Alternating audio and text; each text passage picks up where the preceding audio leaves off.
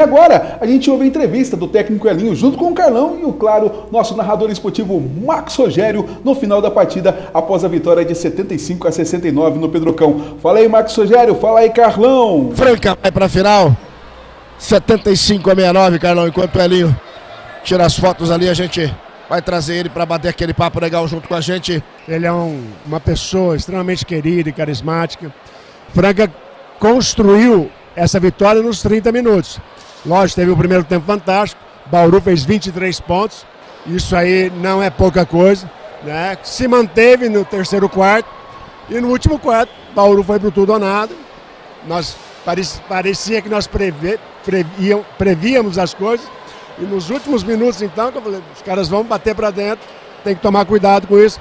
E acabou acontecendo. Aí a arbitragem também mudou um pouco o critério, começou a querer administrar a partida, mas foi uma bela vitória.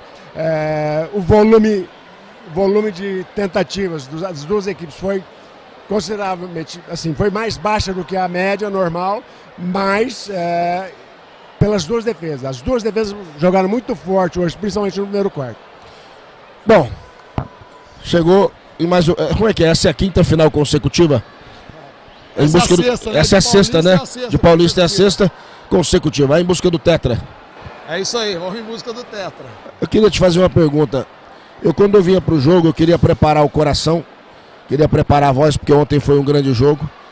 Mas a gente chega aqui e a gente não sabe se a gente está preparado. A gente vai sendo envolvido por um grande espetáculo de basquete.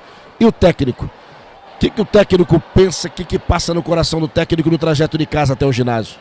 Marcão, uh, cara, na verdade, nós, depois do jogo de ontem, a minha maior preocupação foi da equipe estar, tá, obviamente, se recuperando fisicamente, né? Os jogadores estão muito bem, mas também com a parte mental. Nós ganhamos um jogo até certo ponto tranquilo ontem e não, não poderíamos nos deixar ah, de, tranquilos, relaxados para o jogo de hoje. Não ia, comentar, não ia começar 14 a 0. Não ia começar 14 a 0, tava 1 a 1 a série.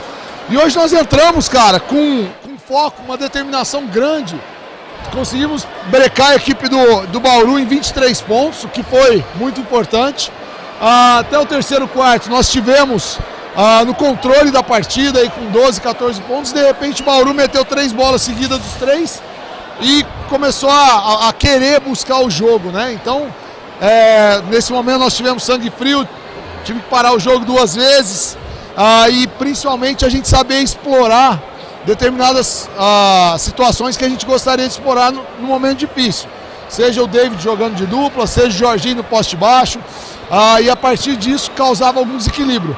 Mas a equipe manteve a serenidade, apesar do jogo ter, ter encatracado, né, como eu falo, mas a equipe manteve a serenidade e conseguiu uma belíssima vitória. E mais uma vez a conquista da vaga em mais uma grande final que para nós é motivo de muito orgulho. Carlão, mas Bugarão sabe. É, é, a equipe manteve a maturidade, a tranquilidade no final. Sobre explorar, o Scala conseguiu colocar duas bolas importantíssimas. E aí acaba esfriando um pouco a partida. É, mas eu, eu acho que isso é a maturidade. É, é uma equipe que vem trabalhando juntos há dois anos, há duas temporadas. Isso ajuda muito, né? Mas eu, eu acredito que o mérito todo nessas duas partidas foi pela defesa, pela excelência da defesa, com todas as falhas que podem ter acontecido. E também por saber variar o jogo é, é, de uma maneira muito coerente, sabe fazer o poste baixo, sabe jogar de fora.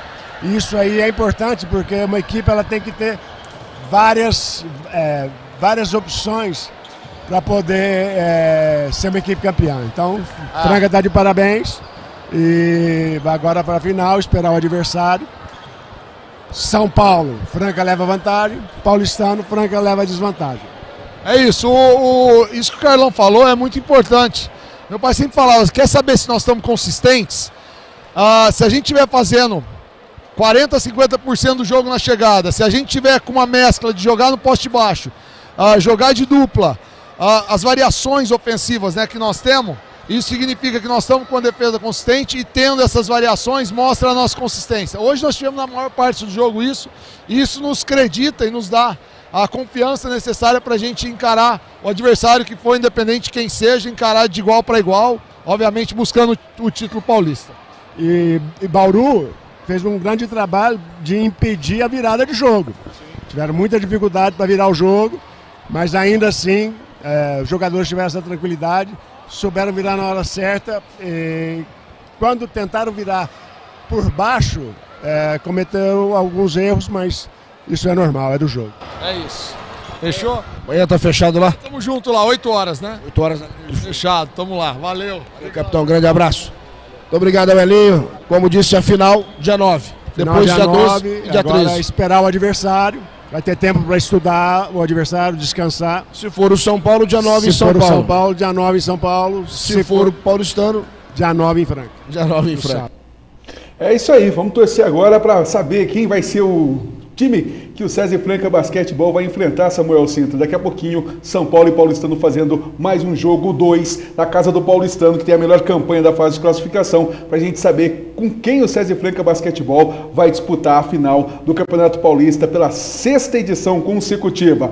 Volto com você, meu amigo. Parabéns ao César Franca Basquetebol por mais essa classificação, por mais essa vitória. É contigo aí, Samuel Sintra. Obrigado aí ao amigo Celso Kinder pelas informações do mundo da bola.